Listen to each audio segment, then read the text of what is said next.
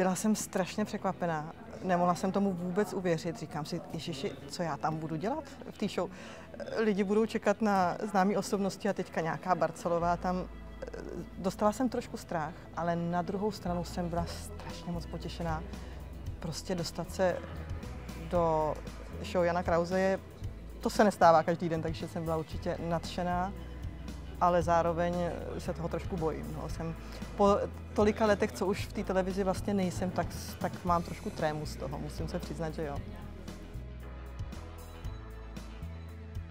Mám představu. Myslím si, samozřejmě u pana Krause nikdy nikdo neví, takže doufám, že nedopadnu špatně, že se nestratím před celým národem. Ale asi si myslím, že to bude směřovat k tématům jako Mexiko právě zvířata, protože já jsem vlastně i v tom Mexiku bojovala za práva zvířat dlouho a především tedy hlavně za zrušení býčích zápasů, vlastně, což e, přišlo ze Španělska, ale provozují to státy, jako je i Francie dokonce a státy Latinské Ameriky, takže tak.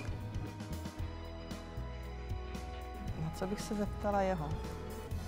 Teď jste mě zaskočil, ale asi bych se ho zeptala, jako první, když začínal se show, jestli byl úplně v klidu, anebo jestli měl trému a postupem času, tak jak se to dělo mě v Mexiku, jestli postupem času začal získávat, právě tu, eh, jak to nazvat, eh, takovou tu, když eh, důvěru sám sebe.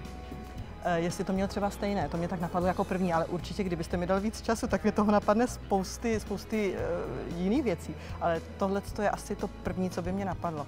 Jestli ho baví dělat tu show, ale to bych se nemohl... Uh, tak to asi řekne, že ano, nevím, co bych se ho zeptala. Jak se třeba točily filmy, které točil třeba taková Saxana, když dávala ruku, vlastně když jela ruka pod stolem, natahovala se postupně by mě napadaly nový a nový asi otázky.